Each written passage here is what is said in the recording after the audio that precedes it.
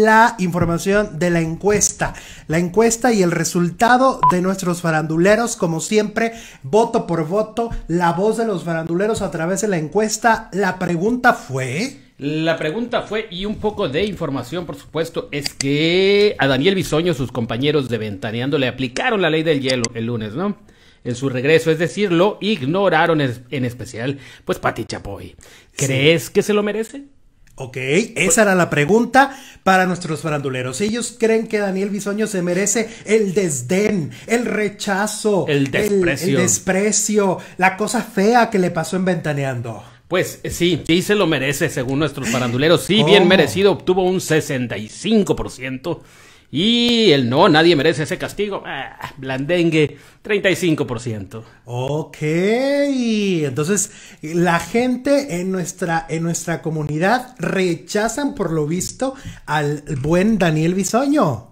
No le cae Su regreso no le fue nada bien, ¿no? Lo ignoraron, no le dieron menciones, o sea, pues dinerito, ¿no? Que finalmente es lo que lo que dejan esas menciones que hacen de la mayonesa, de la cerveza, del, del jarabe para la tos. Pues todo eso les representa lana, la verdad. ¿Es mi impresión o ayer las cosas cambiaron un poco? Como que ya, ya lo miraban más bonito, pero la encuesta estaba pues al, lunes, ¿no? Sí. En su...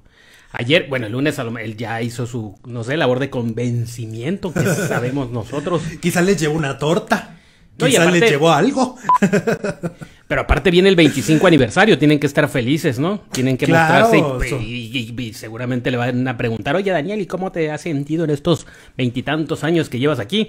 Pues ni modo que pongan jetas, ¿no? Sí, o sea, están preparando el terreno. Tiene que ser una bonita familia de 25 años, muy disfuncional, porque a lo largo de 25 años se han ido eh, conductores y conductoras, algunos no en los mejores términos, sobre todo las mujeres. Las mujeres se han ido peleadas y de eso hablaremos más adelante.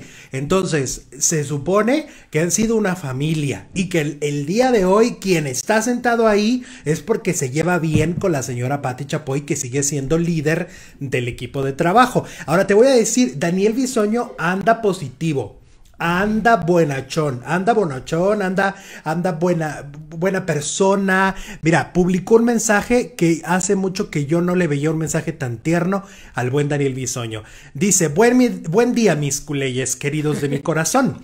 ¡Ánimo! Hemos pasado... Bueno es que anda de buenas, ¿eh? Mis culeyes. Es que así les dice. Ah, bueno. haz de cuenta que así como nosotros les decimos faranduleros, no, pero qué diferencia. Bueno, pues sí, pero es que también hay diferencia de, formas de ser, ¿verdad? Sí. y nosotros les hablamos con mucho cariño y respeto. ¿Qué es eso? Pues pasó? sí. Hemos pasado por los meses más difíciles tal vez de nuestra vida, a levantar el alma, a ser felices, y la felicidad no es algo que vamos a encontrar afuera, está dentro de uno. Mira, ya es como César Lozano. Volteemos hacia adentro y ahí está la respuesta. Pues es que ya lo perdonaron, ¿no? Ajá, ya recibió el perdón. Ya le sonrieron y entonces ya, pues ya, ya las aguas volvieron a su cauce. Pues afortunadamente para él, pues también. Creo que también se refiere tal vez a, a lo que pasó su familia. A su familia la pasó muy mal la última etapa del 2020, ¿no? Tuvieron el bicho, lo que fue su mamá estuvo súper delicada. Su hermano también la pasó muy mal y es mucho más joven que, que Daniel. Y eh, creo que un poco va por ahí, pero pues míralo, en César Lozano, el buen Daniel Bisoño el día de hoy. Pues ahí está. Y bueno, pues no, a nuestros faranduleros no les gusta nada esa actitud bonachona de Daniel Bisoño. Lo que les vale. Queremos